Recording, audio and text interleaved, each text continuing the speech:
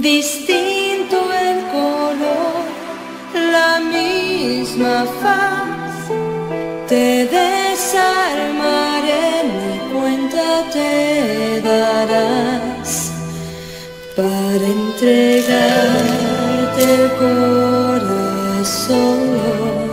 Como pidió mucho dinero para el divorcio y se lo negaron, hasta que no la calienta ni el sol. Y que el señor Carlos Daniel y el niño Carlitos tengan que estar fuera de la casa por esa.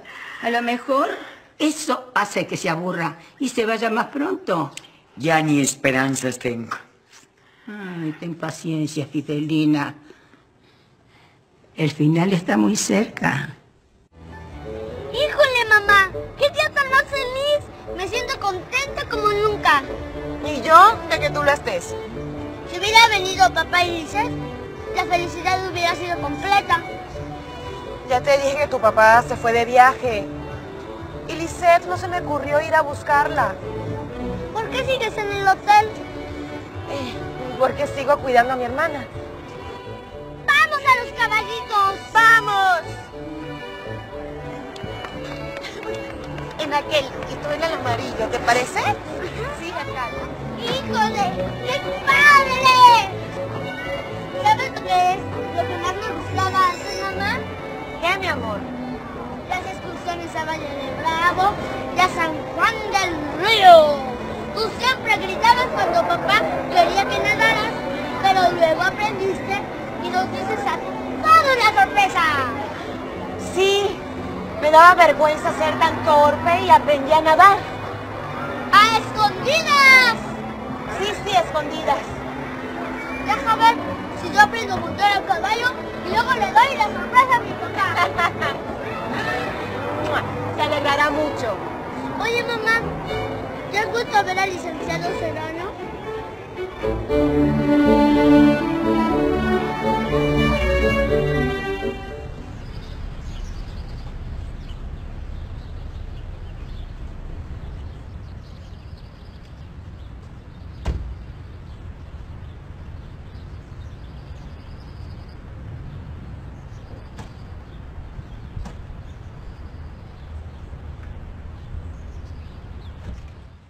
¡Qué puntuales!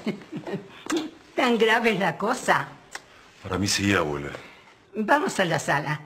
Paola salió con la enfermera y no hay peligro de que nos escuche. Lidelina, por favor, que nos traigan el café a la sala. Sí, abuela.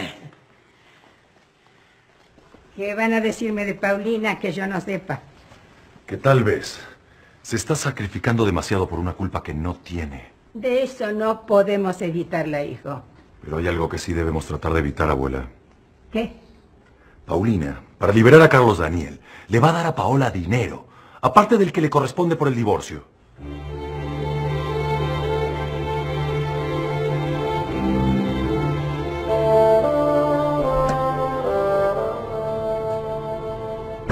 El señor Willy no está. Ay, perfecto.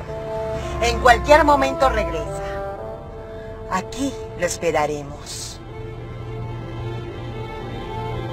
De veras, no he vuelto a ver al licenciado Serrano, Carlitos.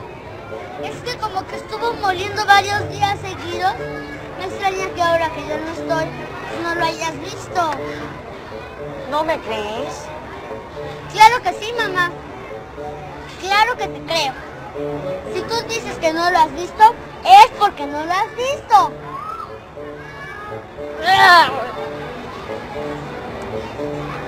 ¿Sabes, mamá? No me gustaba cómo te miraba. Solo trataba negocios conmigo. No olvides que es mi abogado. Sí, sí, pero un día hasta te agarró la mano. Ya te expliqué por qué. A mí me late que se estaba enamorando de ti. ¡Ah! ¿Nos subimos al tornado de la feria? ¡Vamos!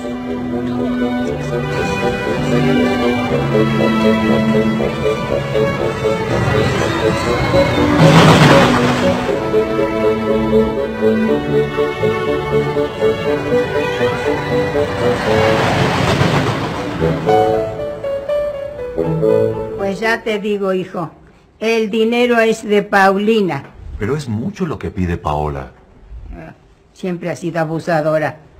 El coche especial se lo pagó Paulina. Lo sé, A ti te molesta Paola aquí, ¿verdad? tú sabes que sí. Pues vas a sentir para presionar a Paulina. La voy a ignorar. Si no es mucho pedirte, abuela, quisiera que la soportaras. No va a poder conmigo. Yo trataré de disuadir a Paulina de que le dé dinero. Como quieras. Por otra parte, Paulina está anulando su vida afectiva. ¿Por Carlos Daniel? No, por otro hombre. ¿No está usted enterada de que el licenciado que la defendió en el juicio, Edmundo Serrano, le ha ofrecido matrimonio? Ya. Ya hablé de ese asunto con Paulina. Pues sería un matrimonio muy ventajoso para ella. Obviamente no aceptó. No, abuela Piedad, no aceptó. Al menos hasta ahora no ha aceptado. Renuncia él por dedicación a los brachos. Bueno, no se preocupen. El tiempo dirá si hizo bien o si hizo mal. Pero el tiempo también destruye, abuela. Y si algún día Paulina quiere rehacer su vida, ¿qué quedará de ella? Una mujer cansada y marchita. Es posible que su cuerpo se transforme, pero su alma no. Y entonces vivirá de sus obras. Paulina es como es, y nadie puede cambiarla. Como la otra también es como el mismo diablo. Tan distintas. Deja todo en las manos de Dios entonces, Rodrigo. Pero abuela, No, es yo que... insisto una vez más en que todo se va a arreglar. Carlitos y Carlos Daniel regresarán a esta casa. Para entonces, la malvada Paola estará ya muy lejos y en su lugar habrá otra en esta casa, Paulina Martínez.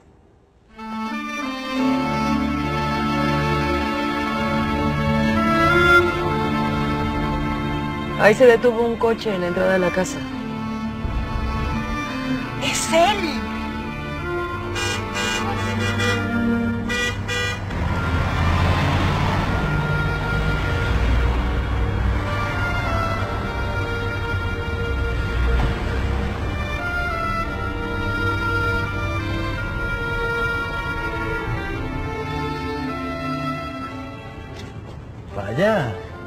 Esto sí que es una sorpresa. ¿Qué haces aquí? Quería verte. Qué bien estás. Bellísima como siempre. Nadie diría al verte sentada al volante de este coche que estás... Paralítica, dilo. No le temas a las palabras. ¿Y tú no estabas huyendo? Decidí regresar. ¿Y eso? ¿Extrañabas mucho a Stephanie? ¿Qué voy a extrañar esa ridícula? Regresé buscando lana. ¿Necesitas? Cuando no, Yo te puedo dar una buena cantidad, Willy. ¿Sabes? Estoy pensando que tú y yo podemos formar un binomio poderoso para destruir a los Bracho y a Paulina Martínez. Bájate y espérame más allá mientras que platico con Willy sin testigos. Que te bajes, te digo.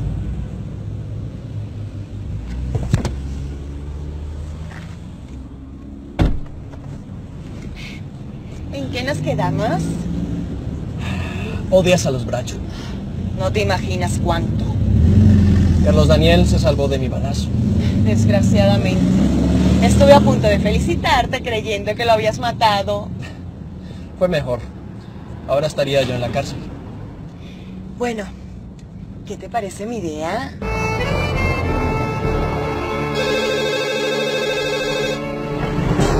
Bueno, Soy yo, Estefanía. ¿Cómo estás? bien Patricia, ¿y tú? Bien, también. Hoy pensé ir a verte, pero se me complicaron las cosas y ya no pude.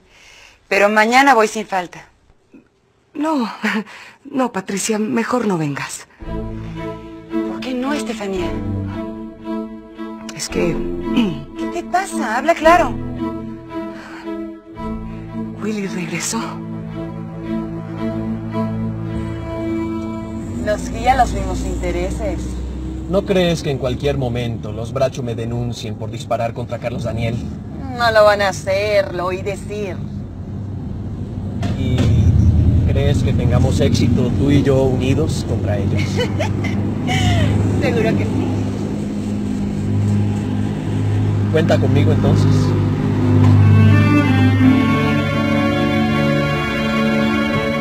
Hola.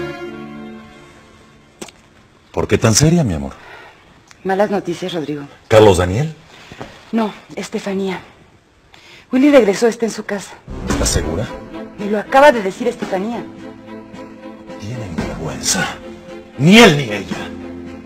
El lunes pueden recomenzar el peritaje. ¿Piensa ir ese sinvergüenza a la fábrica? No, él no. Irá Estefanía. ¿Y el niño? ¿Lo va a dejar con la empleada? No, va a llevarlo a la fábrica. Si no quería hacerlo. Willy debe haberla convencido.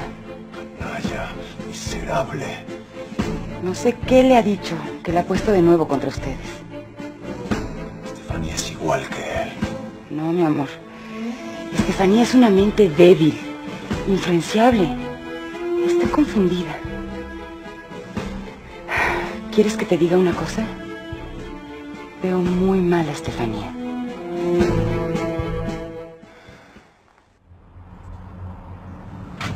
Tu enfermera está esperando. Déjala que se aguante. ¿Qué te parece 100 mil dólares? Muy buenos para largarme de aquí. Con Estefanía. Solo. ¿Y tu hijo? Que lo cuide la madre. Sigue siendo un sinvergüenza. ¿Cuánto le estás pidiendo a tu marido por el divorcio? Un millón de dólares. Aparte de lo que me toca. Pero claro, no lo necesito. Bien sabes que tengo mi fortuna propia. Lo hago para fastidiarlos. Sobre todo a mi hermanita Paulina. Me alegro. Si por ella fuera ya Estefanía se habría divorciado de mí. Pero no cuenta con el amor que el imbécil me tiene. Un amor enfermizo. Pobre infeliz. A mí Paulina quiere engañarme con un falso cariño de hermana. Como si yo fuera idiota. Me tiene el mismo cariño que yo le tengo a ella. Pero tiene la sartén agarrada por el mango. Es dueña del dinero.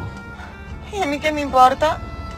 Yo me tiro sobre la fábrica para sacarle la mayor cantidad de dinero posible. Si ella fue quien lo prestó, que se fastidie. Voy a procurar dejarla sin nada.